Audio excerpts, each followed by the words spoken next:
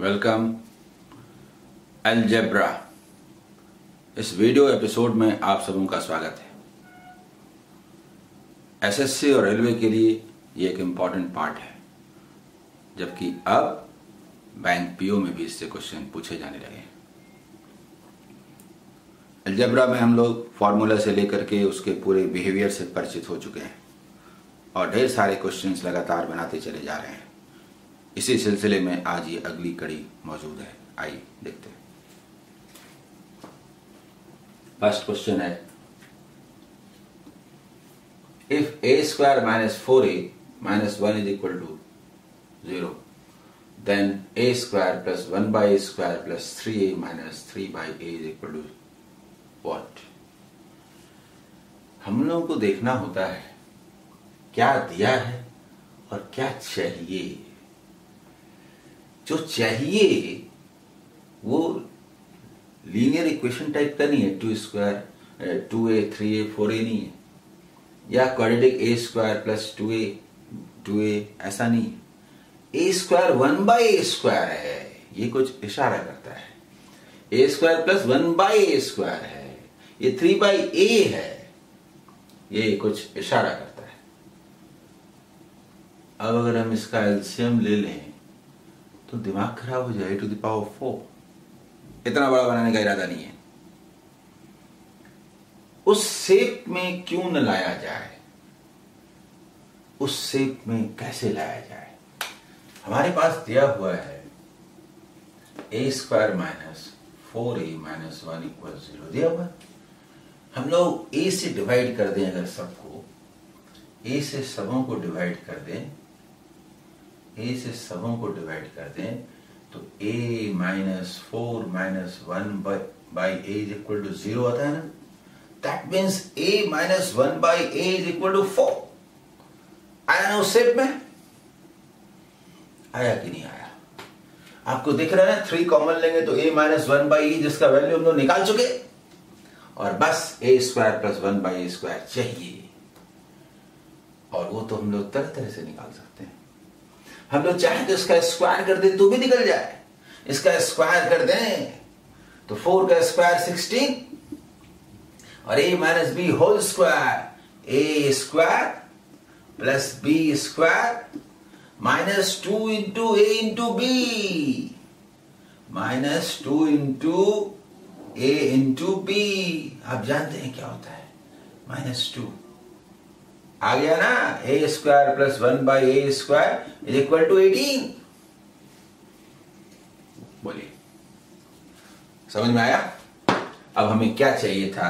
एक चाहिए था a square plus one by a square और दूसरा चाहिए था थ्री कॉमन ले तो a minus one by a और हम लोग दोनों का वैल्यू जानते हैं। This is eighteen and this is three into four यानी एटीन प्लस ट्वेल्व यानी कि थर्टी समझे?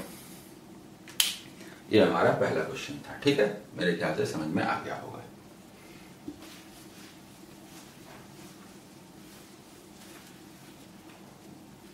Second question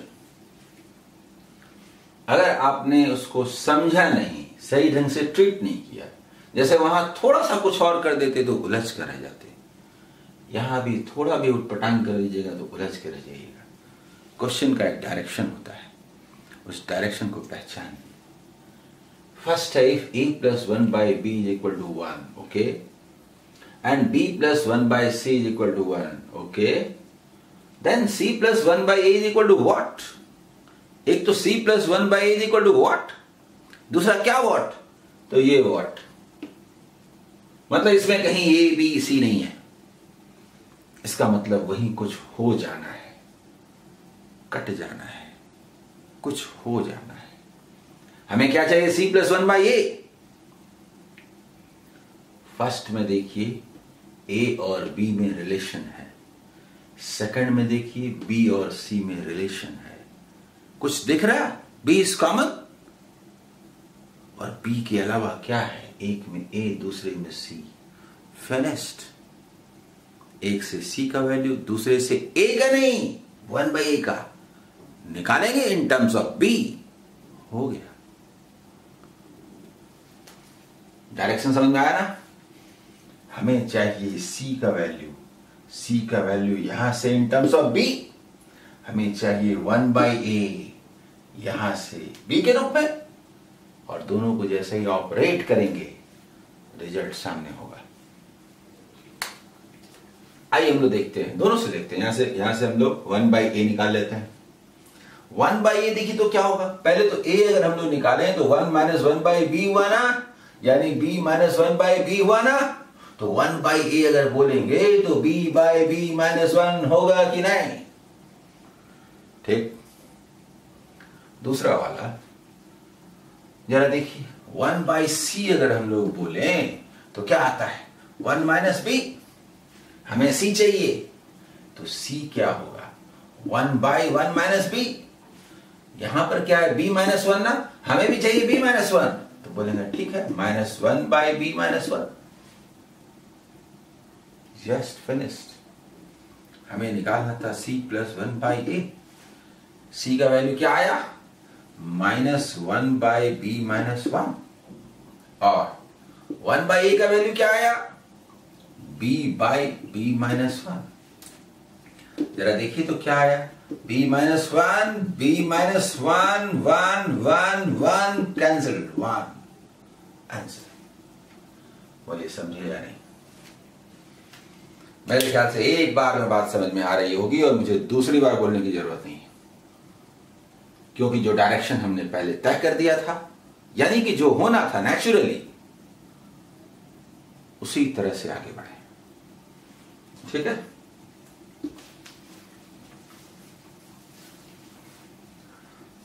third number question देखिए one of the factors of the expression this is दो तरीके से हम लोग इसको कर सकते हैं। एक, कि हम लोग इसका करस्पॉन्डिंग क्वाड्रेटिक इक्वेशन निकाल लेते हैं इक्वल टू ज़ीरो और एक्स के वैल्यूज़ निकाल देते हैं फैक्टर पता है। और दूसरा फैक्टराइज कर देते हैं। दोनों में से जो पसंद हो फैक्टराइज कर दें? आइए फैक्टराइज कर देते हैं। ये लिखा हुआ है four root three x square plus five x minus two root three ये लिखा हुआ। जरा सो, देखिए एक्स स्क्वायर का कोफिशियंट क्या है? Four root three four root three को यहाँ लाइए पकड़ के। प्लस फोर रूट थ्री पकड़ के लाइए। और इसको भी माइनस टू रूट थ्री लाइए। दोनों को मल्टीप्लाई कीजिए। Plus into minus minus minus का वन मीनिंग है प्लस का अनदर मीनिंग है। Four into two eight root three into root three three eight into three twenty four twenty four को factorise कीजिए। Two into two into three है ना? वही eight into three इनको आपस में मल्टी मल्टी, मल्टीप्लाई करके टू नंबर्स बनाने हैं। ऐसे टू नंबर्स जिनको जिनको जिनको अगर यहाँ प्लस होता तो ऐड करके मिडल वाला आए और माइनस आए तो एक में दूसरा सब्ट्रैक्ट करके आए। एट और थ्री लेंगे कि नहीं? एट में थ्री सब्ट्रैक्ट किया तो फाइव आए फाइव आए कि नहीं? बस बस बस बस यहाँ पर लिखते हैं, कुछ नहीं। एट माइनस थ्री बस। इसे भी ब्रेक कर देते हैं ना eight x minus three x eight x minus three x eight x minus three x लिखे four root three x square minus two root three बस बस बस। यहाँ देखिए तो फोर और एक्स कॉमन आएगा कि नहीं? फोर और एक्स कॉमन आएगा तो क्या बचेगा? Root three x. Four x common आएगा तो क्या बचेगा? टू। यहाँ से क्या कॉमन आएगा? यहाँ से रूट थ्री कॉमन आएगा। तो ये बचेगा रूट थ्री एक्स। और ये माइनस बाहर ले चुके हैं, प्लस टू। और ये root three x plus two common आया तो four x minus root three. ये दोनों ही फैक्टर्स हैं। इनमें से कोई पूछा है।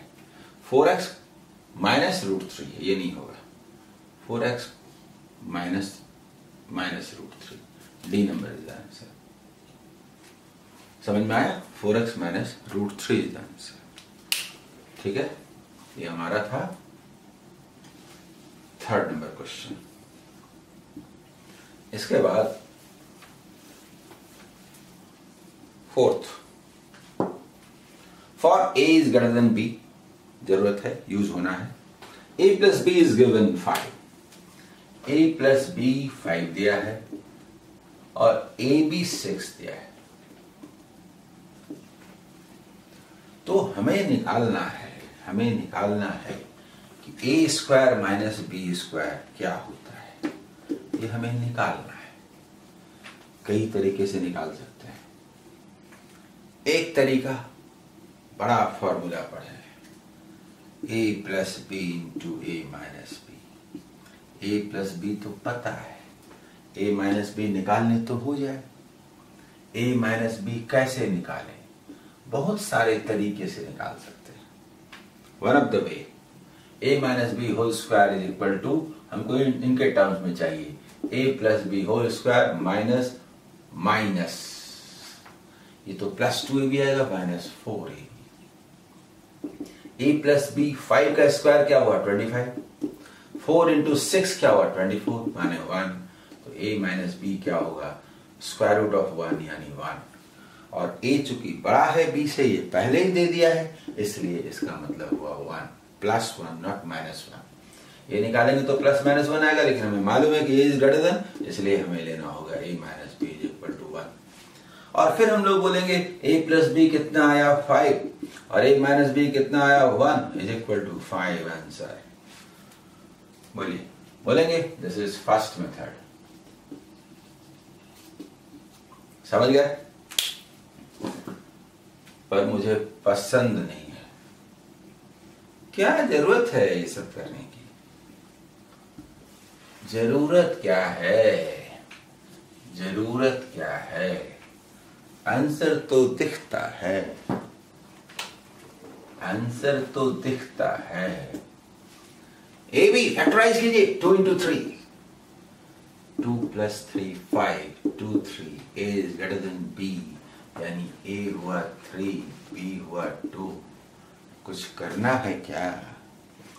Three plus two five three minus two one five is the answer काहे का वो सब फॉर्मूला भाई?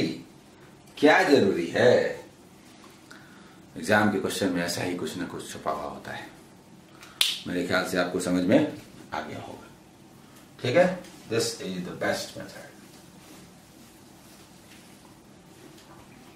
और अब fifth number question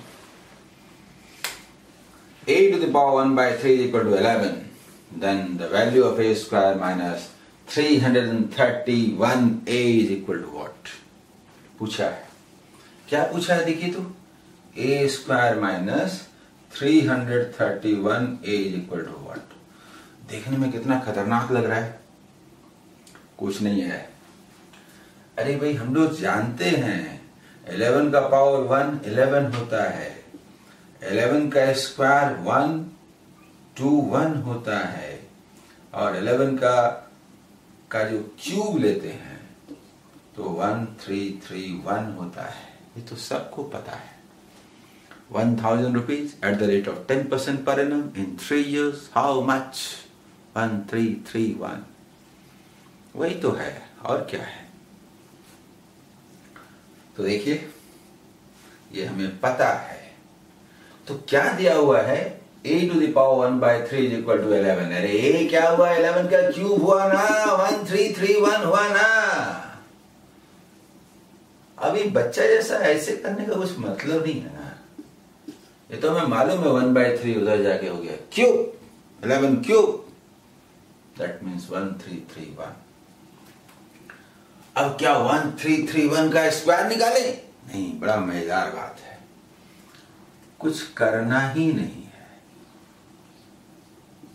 आंसर हो गया। ये है वन थ्री थ्री वन और ये वन थ्री थ्री वन में थ्री थ्री वन खत्म हो गया। आंसर कुछ करना ही नहीं है। बोलिए, समझ में आया या नहीं? वन थ्री थ्री वन में one thousand three hundred thirty one में three hundred thirty one finished घट गए तो वन थाउज़ेंड बचा। One thousand into one three three one is equal to one thousand three hundred thirty one thousand answer बोलिए। समझ में आया? मेरा ख्याल है आपने एंजॉय किया होगा। एल्जेब्रा में यही होता है।